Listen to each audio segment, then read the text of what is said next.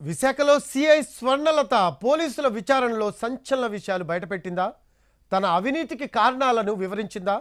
కేవలం తాను డబ్బుకు ఆశపడి మాత్రమే తప్పు చేసినట్లుగా సిఐ స్వర్ణలత పోలీసు ఉన్నతాధికారుల ముందు చెప్పినట్లు సమాచారం. నోట్ల మార్పిడి వ్యవహారంలో ఏ ఫోన్ నిందితురాలుగా రిమాండ్లో ఉన్న ఆమెకు ఒకరోజు కస్టడీకి తీసుకొని పోలీసులు లోతుగా విచారించారు. ముందుగా విచారణకు పూర్తి స్థాయిలో సహకరించాక ముభావంగా ఉండడంతో పోలీస్ అధికారులు ఆమెకు నచ్చజెప్పే ప్రయత్నం చేశారు. అయినా ఫలితం లేకపోవడంతో గట్టిగానే ప్రశ్నించారు. ఓ లోకల్ లీడర్ దగ్గర ఉన్న రెండు వేల నోట్లను త్వరగా మార్పిస్తే పది శాతం కమిషన్ వస్తుందని మరో నాయకుడి ద్వారా తెలుసుకొని ఈ మోసానికి పాల్పడినట్లు సమాచారం.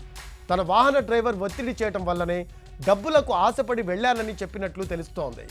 అయితే నగదు మార్పిడికి సంబంధించి తమ వాహనంలో ఎలాంటి రెండు వేల నోట్లు తీసుకువెళ్ళలేదని అవతల వ్యక్తుల నుంచి ఐదు వందల నోట్లను తీసుకురావడం జరిగిందని చెప్పినట్లు టాక్. సినిమా షూటింగ్ నిమిత్తం ఆమె నృత్య వీడియోలపై కూడా పోలీసులు ప్రశ్నించారు.